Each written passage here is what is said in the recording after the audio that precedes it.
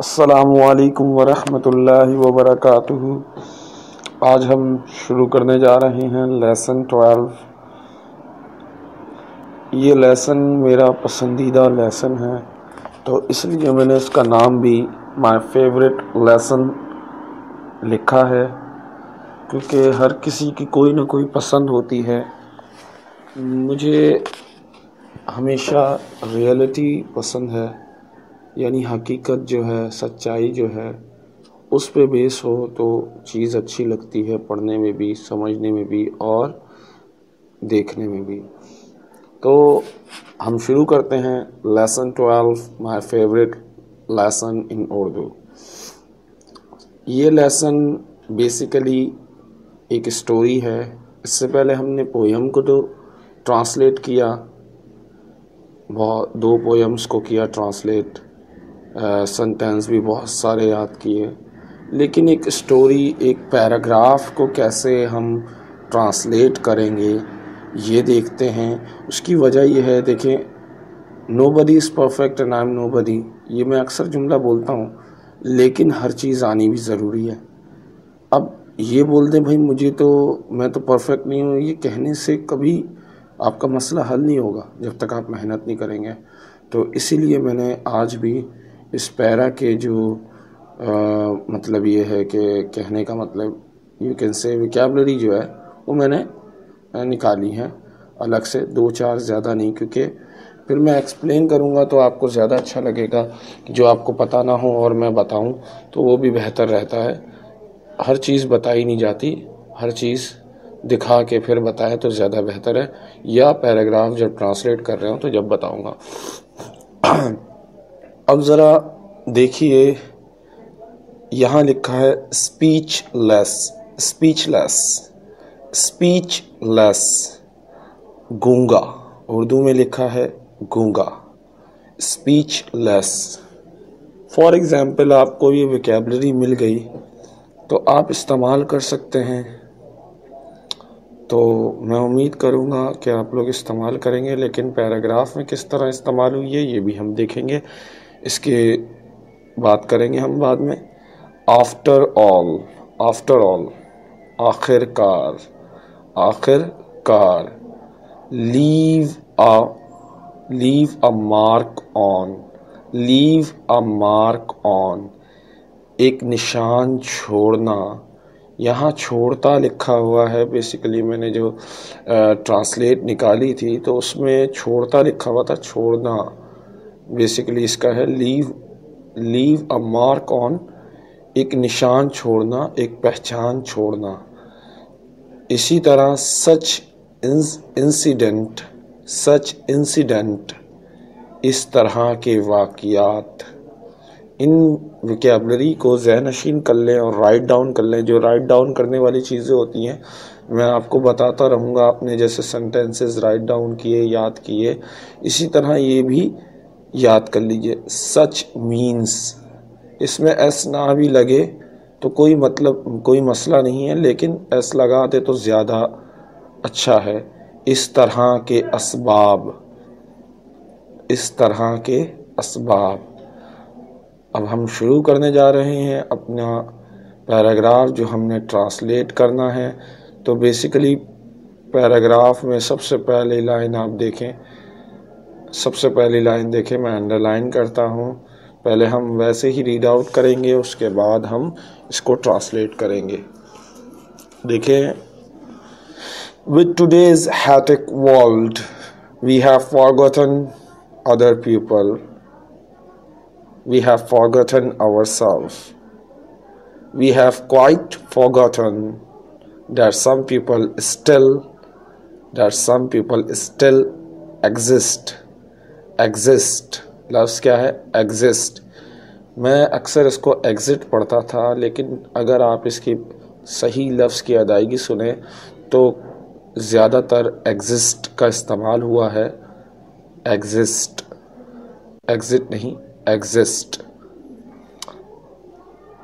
in this world that some people are still exist in this world, that leave a mark on our life because of whom our life change changes because of whom we start believing in God. आगे चलते हैं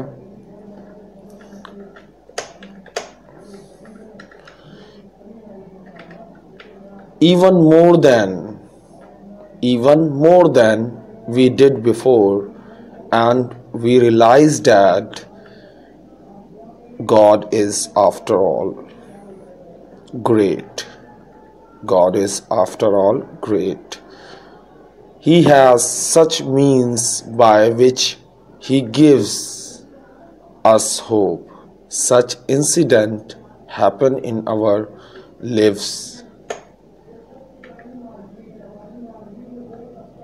which leave us speechless those people come in our lives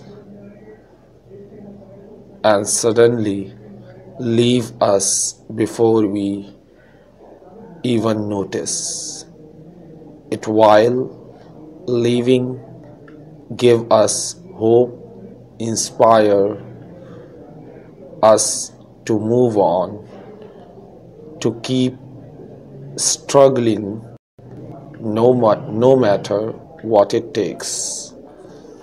Basically ये बहुत दो पेजों की दो पेजों की ये स्टोरी थी आज से पाँच से छः साल पहले की बात है।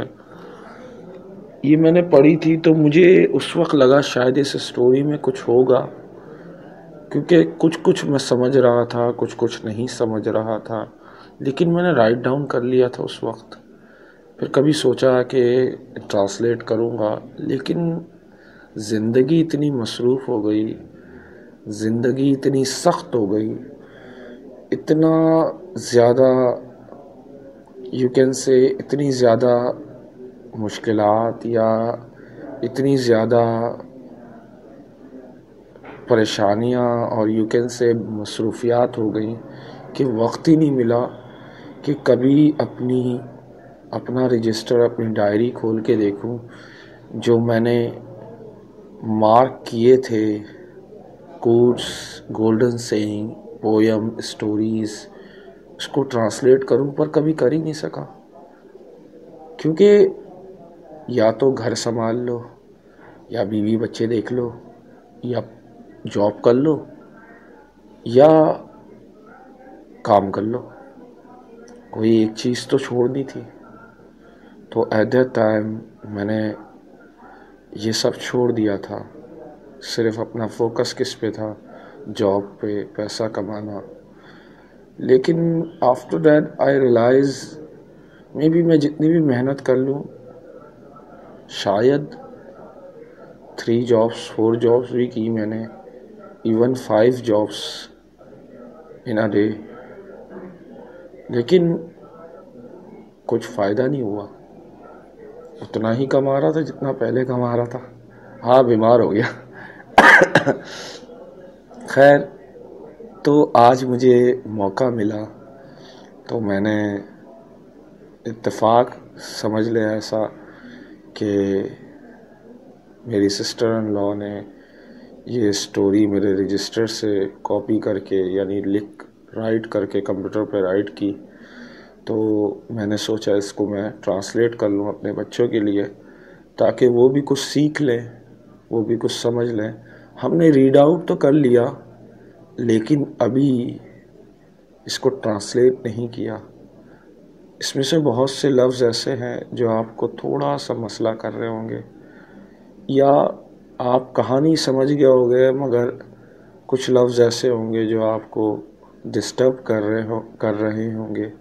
तो चलें शुरू करते हैं। उन लफ्ज़ों को जो आपको डिस्टर्ब कर रहे हैं, हम शुरू करते हैं ट्रांसलेट के साथ। अल्लाह का नाम लेके in the name of Allah the most merciful and the great generous with today hatics with today's hatic world, what is the meaning of hatic अगर फॉर एग्ज़ाम्पल आप इसको सर्च करें गूगल में या कहीं भी तो आपके पास बहुत सारे मीनिंग आएँगे। मे बी ऐसे मीनिंग जो आप तस्वूर नहीं कर सकते कि हो सकता है इसका मतलब। लेकिन क्या हमें स्टोरी को देखकर सही मतलब पता करना होता है? ये बात याद रखिएगा। फॉर एग्ज़ाम्पल इसका मतलब एक एक बीमारी भी है यू कैन से दाओ का मर्ज़ पता नहीं किसका मर्ज़ अजीब सा मर्ज़ था मुझे नाम याद नहीं है। क्योंकि मुझे अपना काम पे ध्यान देना था कि मुझे इसका मतलब पता था ऑलरेडी तो मैंने जस्ट चेकिंग के लिए एक अपने पढ़ाने से पहले चेक करने के लिए क्या कहीं गलती तो नहीं कर रहा मैं? तो मीनिंग चेक कर लूँ। तो मुझे वो मीनिंग नहीं मिले जो मैंने कभी आ, मतलब पढ़े थे। फिर मैं परेशान हो गया मैंने बोला कहाँ मीनिंग है? अगर उर्दू डिक्शनरी में देख रहा हूँ तो नहीं मिल रहा भाईजान, बहनों और दोस्तों और स्टूडेंट, ये बात जहनशीन रखें कि बहुत से ऐसे लफ्ज़ होंगे जो आपको उर्दू डिक्शनरी में थोड़े से मुख्तलिफ़ मिलेंगे या वर्ड टू वर्ड जैसा हम चाहते हैं वैसे नहीं मिलेंगे। उसके लिए आपको इंग्लिश टू इंग्लिश डिक्शनरी देखनी पड़ेगी। तो आई होप आप लोग इंग्लिश टू इंग्लिश देखेंगे तो आपको ज़्यादा फ़र्क पड़ेगा। और उसके लिए इंग्लिश टू इंग्लिश कैसे पढ़ी जाए? उसके लिए कॉमन चीज़ें आपको आना ज़रूरी है। ये सेंटेंस में बिला वजह आपको याद नहीं करा रहा। ये रोज़ाना के सेंटेंस बोल रहा हूँ, याद करो याद करो याद करो। क्यों? क्योंकि for example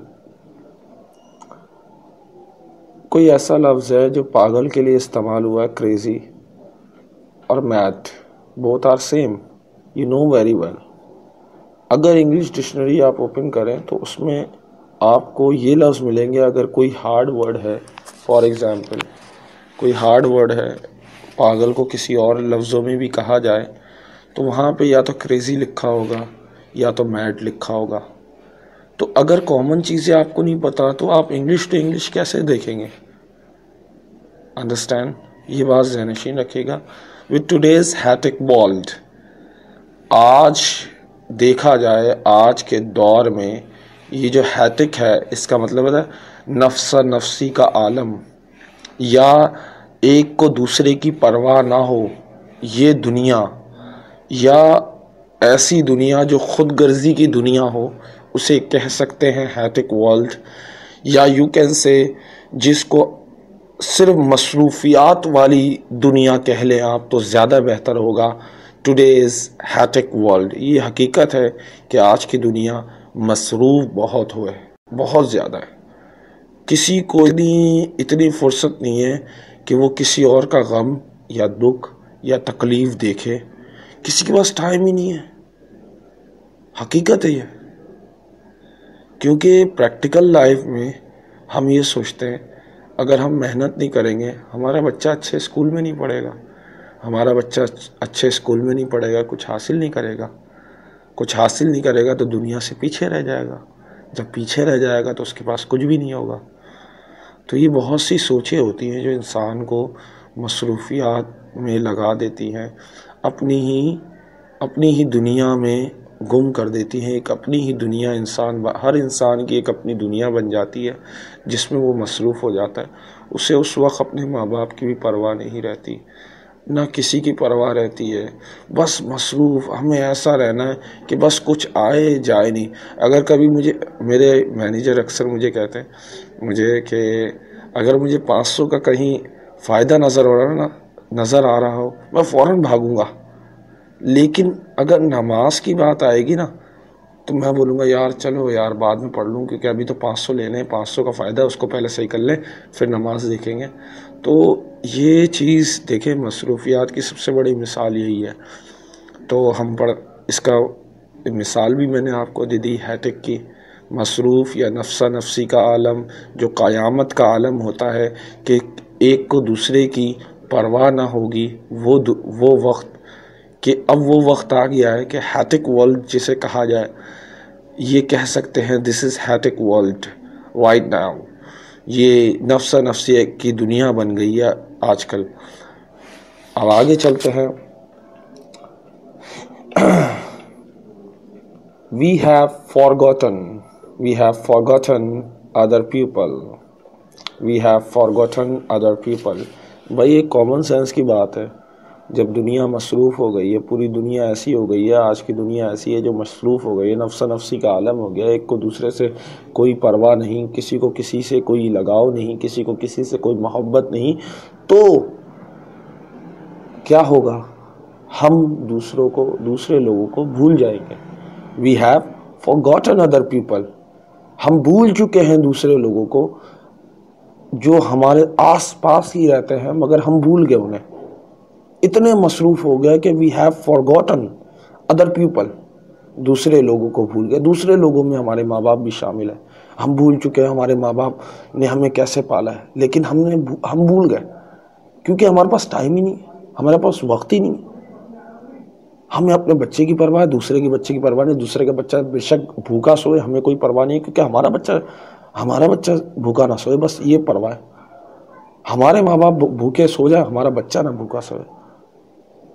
So what is this this is hectic world we have forgotten other people ये नफ्स नफसी क़यामत का, की दुनिया है, जो हम भूल चुके हैं। हम भूल गए, दूसरे लोगों को अगली लाइन देखते हैं। We have forgotten our self we have forgotten our self हम अपने आप को यहाँ तक कि हम अपने आप को भूल गए हैं।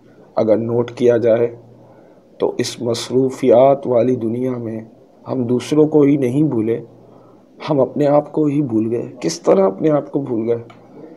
हम नमाज़ पढ़ना छोड़ दी हमने, मिलना जुलना छोड़ दिया, बातें करना छोड़ दी, हंसना छोड़ दिया। क्योंकि मस, वक्त ही कहाँ है हमारे पास? आते हैं, थके हुए बस सोना है, इतनी मसरूफियात में। हमें किस, ये ये वक्त ही नहीं मिलता कि हम कौन हैं, हम क्या पहचाने हम सही कर रहे हैं, गलत कर रहे हैं, हम सही कमा रहे हैं, गलत कमा रहे हैं, किसी चीज़ की परवाह नहीं होती। क्योंकि हमें तो बस भूलना है, क्योंकि जब नफसा नफसी का आलम हो गया हम दूसरों को, दूसरे लोगों को भूल गए, अपने माँ बाप को भूल गए। इट्स मीन हम अपने आप को भूल गए। ये वो वक्त है कि हम अपने आप को भूल चुके हैं।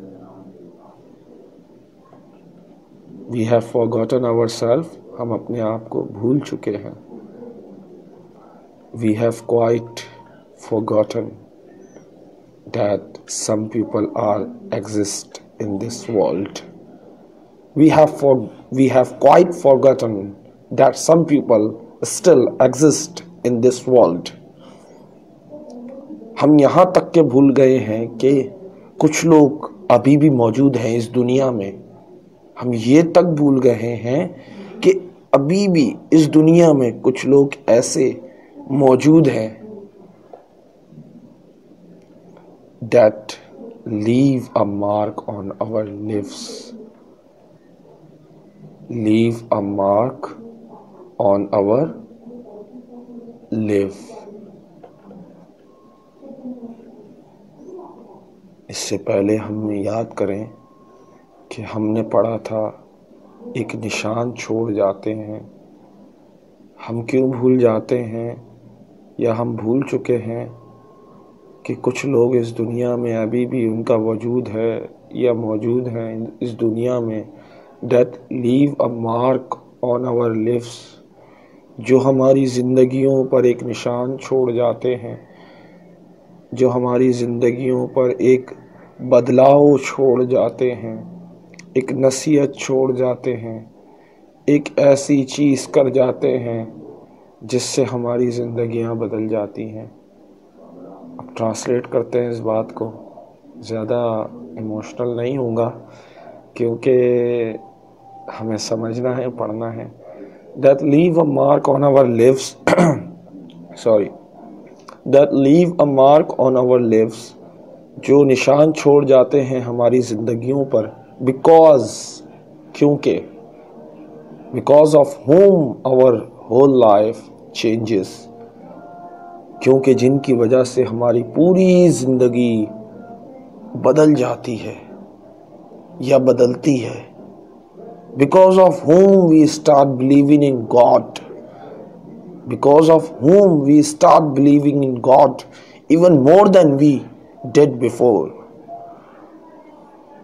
ऐसा निशान छोड़ जाते हैं कि हमारी, जिससे हमारी ज़िंदगियाँ बदल जाती हैं और उन्हीं की वजह से हम अल्लाह पर यकीन करना शुरू करते हैं। पहले से भी ज़्यादा। More than we did before पहले से भी ज़्यादा हम अल्लाह पर यकीन रखना शुरू करना शुरू कर देते हैं। ऐसा निशान, ऐसी ऐसी नसीहत, ऐसा वाक़ छोड़ जाते हैं। ऐसी, ऐसा हँसते हँसते चले जाते हैं कि हमें अल्लाह के करीब करके चले जाते हैं। इस दुनिया में ऐसे भी लोग हैं मौजूद हैं जिन्हें हम भूल चुके हैं जो हमारी ज़िंदगियाँ तब्दील करके गए हमारी ज़िंदगियों पे एक निशान छोड़ कर गए जिनकी वजह से हमने अल्लाह पर यकीन करना शुरू किया पहले से भी ज़्यादा and we realize that God is, after all, great.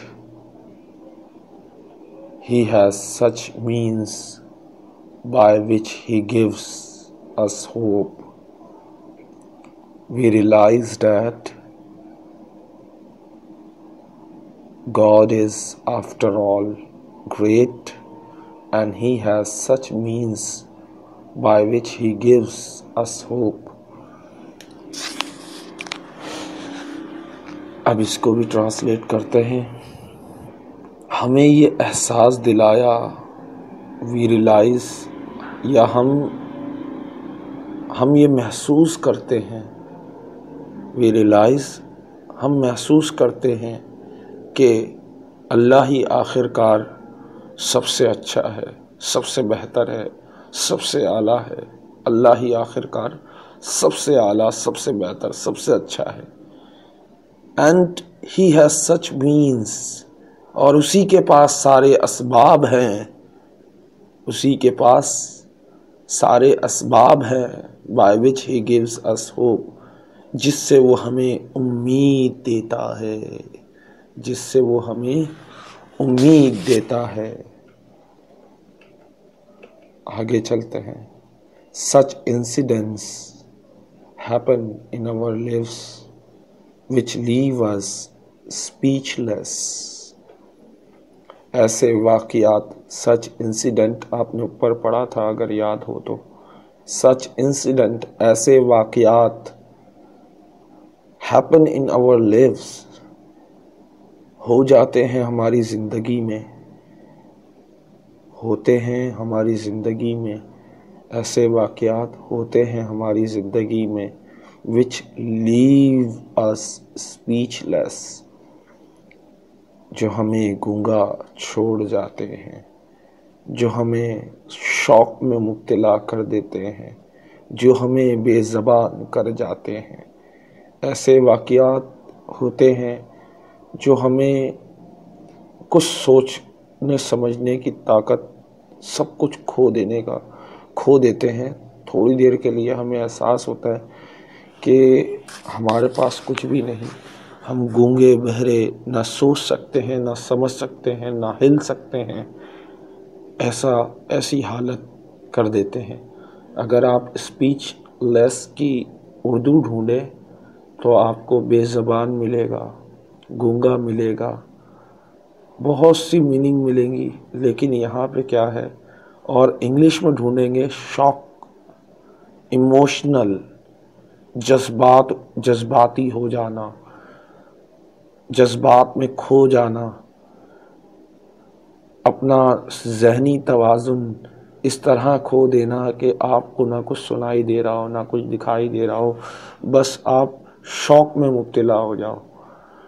तो ऐसे वाक़ात रहनुमा होते हैं हमारी ज़िंदगी में जो हमें गूँगा कर देते हैं। आगे चलते हैं। Those people came in our lives and suddenly leave us before we even notice it. ये जुमला मुझे सबसे ज़्यादा पसंद है। क्योंकि ये मैंने प्रैक्टिकली देखा है। प्रैक्टिकल प्रैक्टिकली फेस किया है ये। Those people come in our lives and suddenly leave us before we even notice it वो लोग दोज पीपल वो लोग कम इन आवर लिव्स हमारी ज़िंदगी में आते हैं एंड और सडनली अचानक लीव अस और हमें छोड़ जाते हैं अचानक before we even notice it यहाँ तक कि हम ये बात नोट भी नहीं कर सकते, या हम, हमें एहसास ही नहीं होता इस बात का कि वो कब आए हमारी ज़िंदगी में और किस वक्त चले गए। जब हमें रोने के लिए आँसू बचते हैं तो हम उस वक्त सोचते हैं, यार फला बंदा चला गया। जब हम अपने शौक़, अपने अपने हालात, अपने सोचने समझने की ताकत जब मिलती है तो हमें एहसास होता है वो बंदा तो हमारी ज़िंदगी में रहा ही नहीं। इस दुनिया से चला गया है, या तो छोटी सी बात पे नाराज़ हो के चला गया। कोई भी वजह हो, वजह तो वजह है रीज़न है। While living give us while living give us hope inspire us to move on to keep struggling no matter what it takes. जब वो छोड़े जा रहा था छोड़ने के दौरान जब वो छोड़ रहा था गेवस हमें देता है होप, उम्मीद इंस्पायर मुतासर करता है हमें टू मूव ऑन के आगे चलते रहो मूव ऑन रुकना नहीं बस चलते रहो, ये दुनिया है, इसमें आना जाना लगा रहेगा। तुम अपने काम ना बंद करो, तुम चलते रहो। टू कीप स्ट्रगलिंग और मेहनत करते रहो, जद्दोजहद करते रहो।